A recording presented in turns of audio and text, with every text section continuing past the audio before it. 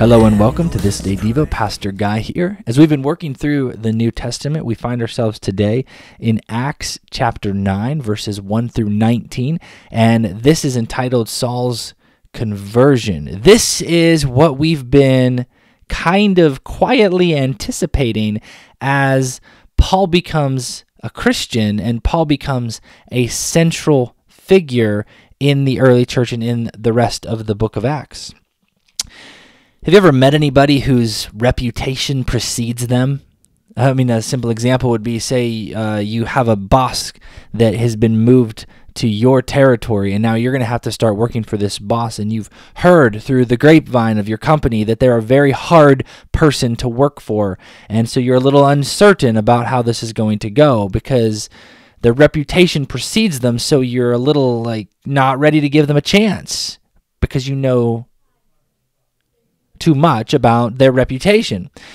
Well, Saul had a reputation that was well deserved, a reputation that was well earned. He was persecuting Christians. He was getting permission from the government to persecute Christians, a letter that he could take to Damascus so that he can bring back every Christian that he found in chains. That was his mission to get Christians in chains, to snuff out the way, to say the end to Christianity. But there is power in testimony. There is power in the presence of God. And God had a plan. So God shows up on the road to Damascus in a miraculous way, and a bright light that blinds Paul knocks him to the ground, and he hears the voice of Jesus Paul, Paul, why are you persecuting me? The men with him can hear it, but they don't see it. They're not sure what's going on. He gets up, he walks, they help him blindly walk to Damascus. And for three days, he doesn't eat, he doesn't drink. God moves in the heart of a man named Ananias, whom he told Saul that he would send to him as a Christian. And Ananias is like, whoa, wait a second. I've heard about this guy. I've heard about his reputation. I've heard what he's been doing to Christians all over the region and in Jerusalem, and I, I don't want to go there. And so then we get to hear what is God's plan for Saul he says, Go. He says, Ananias, no, I'm, uh, this isn't up for debate. This isn't a question. I'm calling you. I've assigned you to this. Go, because Saul is my chosen instrument to take my message to the Gentiles, to the kings, and to the people of Israel, and I will show him how much he must suffer for my name's sake. He's my instrument. He's the plan. He is the one who was passionately against me, who is now going to be passionately for me. The pendulum of hate, of extreme hate, has swung all the way to the side of extreme love love for Christ and love for the lost.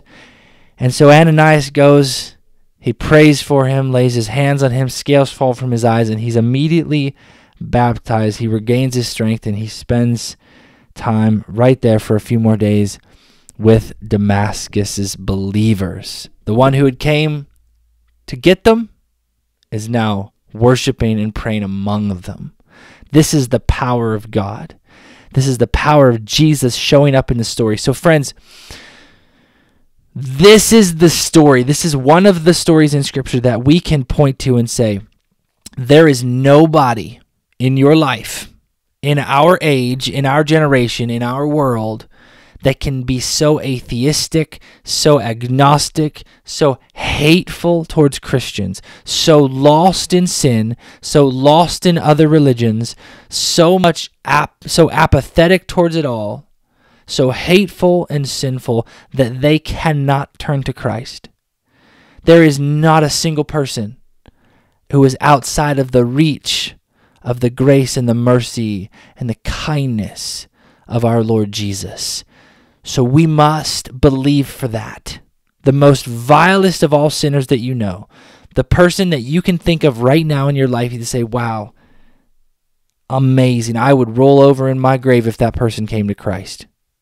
Yep, they are within the reach of our Lord and Savior, Jesus Christ. So what do we do? We believe that and we pray for them. We pray, pray Pray passionately, pray fervently, pray specifically for the conversion of their souls because God can and He does answer prayer. So believe on Him for that. Today I learned this about Jesus, and on this day I will this. How do you answer that question today? Go forth and pray for the conversion of souls. Every See you later. Has the power of Christ